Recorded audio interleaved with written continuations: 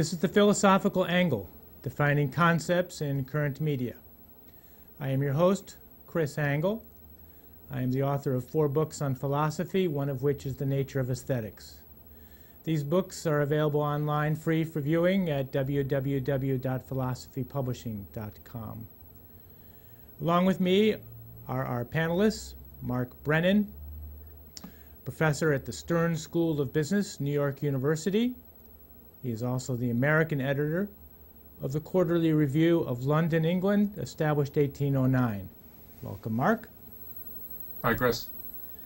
Also with us is Rick Samuelson, graduated from Yale, has an MBA from Wharton and an MA from Tufts. He was also a retired head of securities, UBS Japan. Welcome, Rick. Hi, thank, thank you.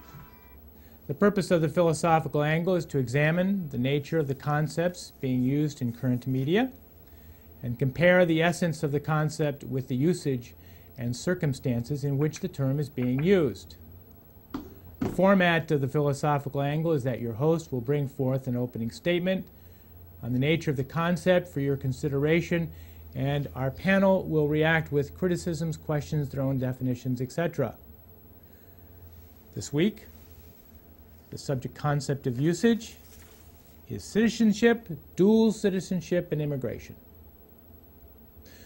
Present in the current political polemics is the controversy of citizenship. Within the concept of this topic are questions that arise about what should be the laws that govern U.S. immigration, citizenship, and more recently, dual citizenship, or even multiple citizenships. To begin our understanding, let's go to the 14th Amendment of the Constitution of the United States, whereby it reads as follows Section 1 All persons born or naturalized in the United States and subject to the jurisdiction thereof are citizens of the United States and of the state wherein they reside. No state shall make or enforce any law which shall abridge the privileges or immunities of citizens of the United States, nor shall any state deprive any person of life, liberty, or property without due process of law, nor deny to any person within its jurisdiction the equal protection of the laws. Okay, this statement indicates that citizens of the U.S. are born or naturalized and have privileges and immunities. The amendment indicates that examples of these privileges and immunities are the citizen's right to the life to the enjoyment of life, liberty, and property. It further indicates that other privileges are the enjoyment of the equal protection of the laws. This understanding is commensurate with an, with an historical perspective of the nature of, of citizenship. Aristotle's characterization of the citizen was one who is capable of ruling or being ruled. Citizens are, first and foremost, as Aristotle said in his Politics, quote, those who share in the holding of office, unquote. Hence, if a person can participate in the holding of an office in the government, then that person would be a citizen. I would contend that without Aristotle's right of participation in the government, the people would be best described as subjects. Later in history, the Romans, as they created their empire, extended citizenship to the conquered people, which meant that these citizens were protected by Roman law, thereby extending the privileges of citizenship from holding of office to protection of the laws set by the Roman government, and thus generating a legal status. With this legal status comes the notion of political freedom, which is the protection of the citizen from other individuals and from the functionaries of government. More recently, it has come to indicate a community of people that share a common heritage, such as a territory culture, religion, and or set of laws. If we were to make some notes on this, we would note that the totalitarian society, which is an example of which would be a, a monarchy, produces or has subjects. These subjects, if you add in privileges and immunities, then it equals citizens. They become subjects, become citizens. And the citizens, and within the citizens uh, are their privileges and immunities. And to delineate those, first would be holding office, as Aristotle indicated. Two would be the protection of the law, as Roman law has uh, indicates. Three would be political liberty, liberty, as Locke and others have described, which is protecting individuals from others and from the government. And more recently, common culture. It is within this last concept of citizenship, that is, a people that share a common heritage or culture or religion, that a controversy of the natures of citizenship begins to develop. There is now an idea that a similar culture is needed or a will to assimilate into a national culture that is required for citizenship. Thus, in the polemics of immigration, the first step in the process of becoming a citizen is to generate the rules to become a citizen which would be necessary in the setting of immigration policy. Once a citizen, some questions arise, such as whether dual citizenship is congruous with the nature of citizenship, as dual citizenship is now part of U.S. policy. Let's go to our panel for a discussion on the criteria for citizenship and immigration policy. My first policy question is, once becoming a citizen of a country, could there be a justifiable policy that would allow for dual citizenship? I dare say the Athenians or the Romans, where the concept of the citizen has some roots, would not have allowed for dual citizenship. How now, this uh, concept of dual citizenship? Mark, your comments first, please. Sure. Chris, the Athenians uh, missed one real big benefit that happened after they were around, and that's the French Revolution and all the moronic ideas that came out of it. So maybe if they'd lived through the French Revolution, they would have felt, fallen for this crap. Uh, and, and, to answer your question, no, dual citizenship is wrong. It's it's just an absolute wrong. It shouldn't even be debated. I, am sorry that we're having this debate, but I wanted to take a step back because this does tie into immigration and it does tie into what we talked to about last week. And I saved this article from the uh, Wall Street Journal this week, which talks about how in Canada, an Afghan immigrant and his wife were found guilty of honor killings. Uh, and this is when I kept talking about during the immigration show. Uh, a country is really comprised of what's most important is language, history, and culture. And I kept getting pushback from you guys saying, well, you know, it depends what business needs we have. Just want to show you what happens when we ignore the concepts of language, history, and culture when we allow, who, when we decide who is going to come into this country. This guy up in Canada uh, was uh, convicted of murdering three of his daughters, and the prosecution argued it was honor rooted in Afghan tribal traditions that led Mr. Shafia to cleanse the shame he felt from the conduct of his, of his three rebellious daughters.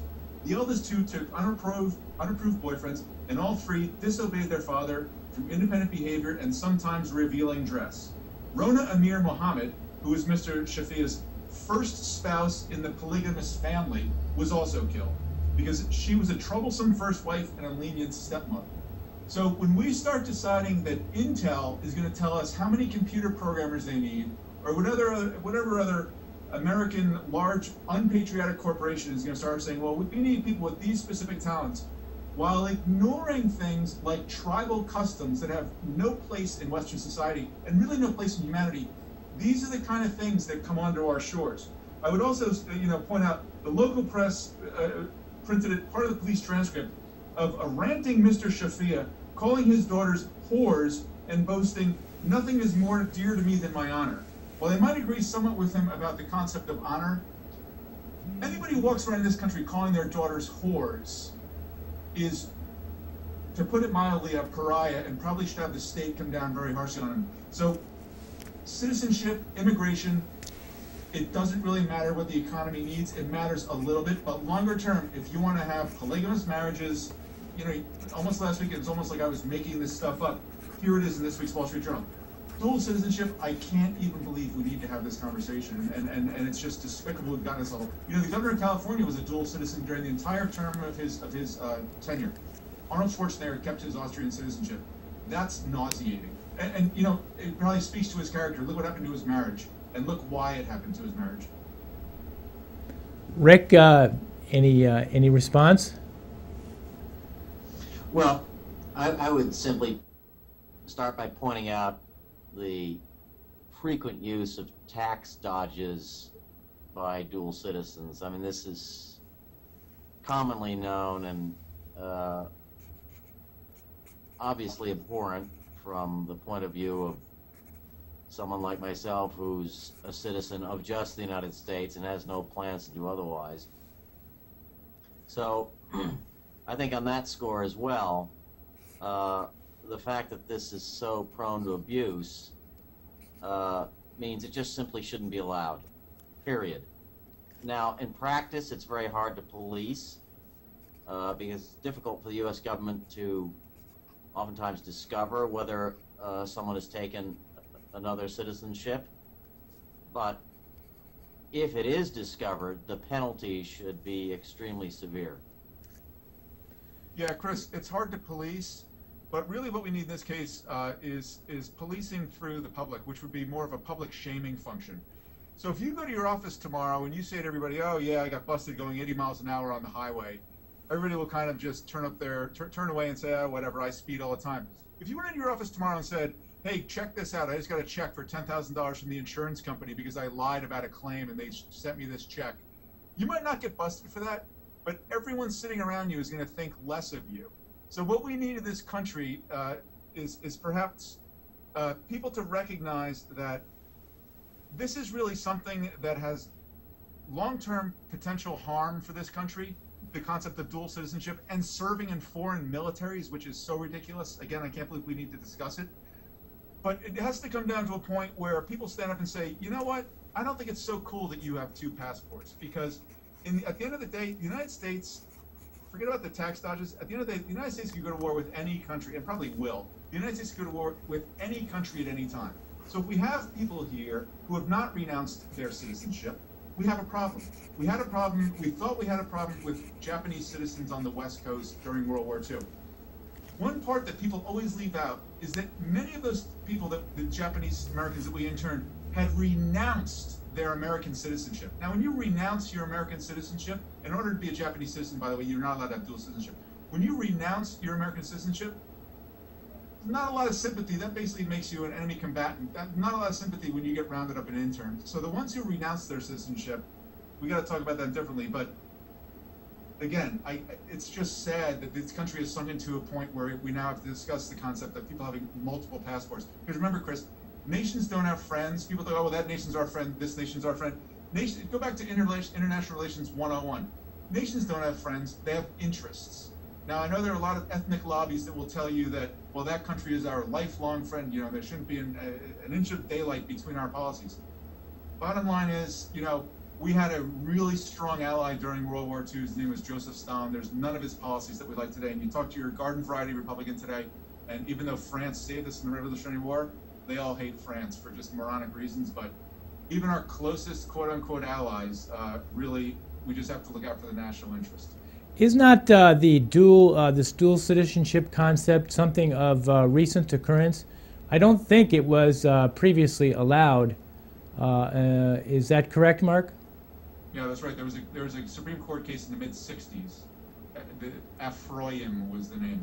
Uh, but you know, so so they said it's not illegal, uh, but legality does not equal morality or, or, or proper ethics. You know, it's, it's not illegal. If you invite me over for dinner, it's not illegal for me to come over and spew nothing but four letter words at you and your wife. I have not broken a law. But what I've done is horrible and despicable and it shouldn't happen. It is immoral. So, as, as, as I understand it, the Supreme Court has allowed for dual citizenship, uh, where it was previously assumed that dual citizenship was not allowed. Uh, the Supreme Court reversed that precedent, and now uh, dual citizenship is allowed. Uh, what should America do to uh, uh, so that dual citizenship be, become illegal? I, I think we have established that it's dual allegiance can come with can come with conflicts uh, that are uh, that are undesirable here. So, uh, especially when concerning taxes, as Rick pointed out, and especially concerning the military. Um, so, what do you what would you propose uh, going forward, uh, Mark? Oh, I thought Rick was going to answer the solution. I have my solution, but let's let Rick. Go go ahead. Go ahead. We'll start with your solution. Uh, my solution Yes. would be, I mean, it's pretty clearly spelled out what the punishment for treason is in the Constitution, and I don't see serving in a foreign military or carrying a passport all that much different from treason. So it's it's already spelled out for you. Uh, and by the way, Chris, you would somebody probably along the line, either the founders or everybody since then, thought that well, we don't have to spell this out because it's so obvious. I mean, is, is, is- should, should should should we just should we have a law against dual citizenship? They're probably scratching their head saying, well, it's, it's not going to be an issue. You know, we, we just got our freedom from England. Let's why why would we want to have a dual citizenship? Right, uh, Rick. Any further Well, comments? the legislature can uh, supersede the Supreme Court. Um, you know, and therefore there's clearly a a legislative venue for making a law that would make dual citizenship illegal and serving in a foreign military equally illegal and punishable by uh, traditionally death. I, Yeah, I, I, I, oddly enough, Rick brings up, you know, what the punishment is. But now, I, I, I know people, you know, carrying multiple passports. Their kids serve in this foreign military. It's almost like they go off to summer camp, and people are proud of that. And and and and most of my friends find it nauseating. Well, it's uh, certainly uh, something uh, that's never occurred before in history. I, I think the uh, European countries, uh, many have uh, uh, the uh, dual citizenship uh, uh, option available. Uh, is that that's some, some, Chris, some some do, some don't. You know, you can look at Azerbaijan, China, the Czech Republic, Denmark, India, Indonesia, Japan, Kazakhstan, Malaysia, Nepal, the Netherlands, and Norway. You automatically lose your citizenship if you acquire another one voluntarily. Uh, there's a whole spectrum of, of what countries do and do not allow. In Saudi Arabia, it's uh, criminal penalties for exercising another citizenship, which is as simple an act as showing another passport and you know what the punishment for crimes is in Saudi Arabia. So it just shows, you know, there are other places where people actually respect and, and think that citizenship is important. Here, when when we're this quote unquote nation of immigrants, and you know, uh, we have we have uh, no care for our borders, and we're out remaking the world. Who cares if Americans are walking around with five passports? Whatever. Tax the rich. That's I guess that's the answer. well said. So uh, going forward, uh, uh, we should just, I think, probably pass a law. Wouldn't that? Uh, wouldn't you agree with that, uh, Mark? As a as a press as a way to go forward in solving this problem? Yeah, but just to go back to my earlier point, you know, we can, we can pass a law, Chris, but really, you know, people respond more to public shaming. We passed laws against smoking, and how many how many times have you seen somebody light up a cigarette somewhere where they're not, not allowed to smoke and get fined? That's not what really is stopping that person from smoking. What's stopping him is the public shame. He's looking around thinking, I don't want everybody in this room to hate me. So we want to have that same thing here. No one's going to catch people with multiple passports. It'll happen once in a while. But really, what we need to do is publicly shame these people into either, you know, make a choice. Either you're an American or you're not an American. It's the principle of non-contradiction come to life. Okay, um, you know, I think we all agree that dual citizenship should be looked at by the legislature, and uh, and uh, uh, and and I think Mark, your point uh, uh, that uh, shame is also a a a motivator in our society. So, but let's let's move on to the the larger topic of immigration within within citizenship and, and dual citizenship. So you mentioned common culture, or that uh, citizens uh, applying for uh, uh, citizenship here in the U.S. Uh, should be have to take an oath of common culture, and that immigration should uh, accommodate uh, a uh, uh, this idea that's uh, occurred in the last hundred years ago, a hundred years or so, of uh, common culture, and uh, uh, so. Would you not? Uh, do you think that should also be incorporated into the rules of immigration? Well, I find that very limiting. I, I, I said language, history, and culture. So you've Well- got to speak English. I'm a big fan of foreign languages. Speak all you want, but we've got to all have one common language. We have to have a common culture because honestly, I don't find polygamous marriages where you murder your first spouse all that enticing. I don't find situations where men are ranting in public, calling their daughters whores, and saying nothing is important, more important than their honor that's not part of our culture. That's not something I want.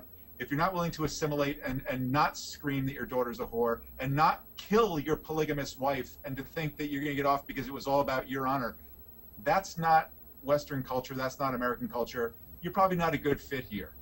And lastly, history. You know, there are certain countries with historical gripes against the United States who don't agree with our take or our version of how things happen and why they happen.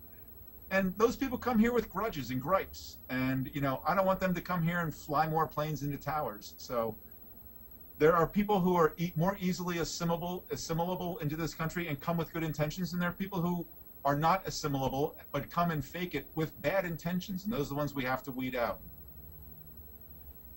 Rick, uh, you have any thoughts on that on, on that subject? Well, let me take a step back. Uh, what's re- one, one remarkable thing about U.S. immigration policy that's you know common to any bureaucratically controlled effort is that it's not responsive to the conditions of the economy. So, for example, I think Obama's administration has handed out about 3 million work permits during his administration. Uh, it can't possibly be the case that there are jobs for all these people, right? Right. That's an impossibility, not in this environment. So, because the nature of the law, with all of its uh, concessions to reuniting families and distant relatives and diversity and all of this other social engineering, because of the prevalence of the way the immigration policy is legally structured and carried out by the uh, bureaucracy, you have people who aren't terribly qualified, who don't, in many cases, speak English, who potentially are a drain on the economy at a time when uh, our federal debt is exploding on account of various and sundry entitlements. And so, you know, the first observation I would make is that the immigration policy can't be driven by a, a government bureaucracy and be either fair or effective, but most importantly, effective. From a businessman's perspective, uh, when I was employing foreigners uh, in Asia, for example, uh, it was the fact that you had to jump through as many hoops as you had to do to get somebody from another country on board was a nuisance, but you could do it. And the fact that the specifications in other countries are so focused on qualifications, right? Correct. Uh, and that the immigration policy is ori- orientated toward providing work permits, but not necessarily immigration rights, okay? Made it much more effective from that country's perspective. So, one of the problems with the immigration debate here is that the distinction between work permits that are temporary versus full citizenship rights, which should be given out very, very sparingly, because it's so readily abused, and you can see that in the costs associated with the existing immigration policy, right? Whether it's anchor babies or you know grandmothers that are brought over or distant relatives because of the policy we have in place. So, the the, the point of departure for me in this debate is until the government makes a very clear distinction between a work permit, which is a temporary permit, and could you know might uh, under the right circumstances lead to citizenship, but there should be a lot of hoops to jump through, all right, and qualifications and commitment and and so forth, versus this kind of let's bring as many people as possible as quickly as possible so we can bolster the ranks of the Democratic Party approach, which is what we have in the United States today. Chris, That's- the problem with that is that temporary work permits allow people to come here and then they become permanent residents because they don't go back. And then we have to hear nonsense from, from clowns like John McCain and Newt Gingrich and Ronald Reagan proposing amnesty for these people after they overstay their welcome. So whether they come here legally or not, when, in the case of when they come here legally on a work permit, they don't leave.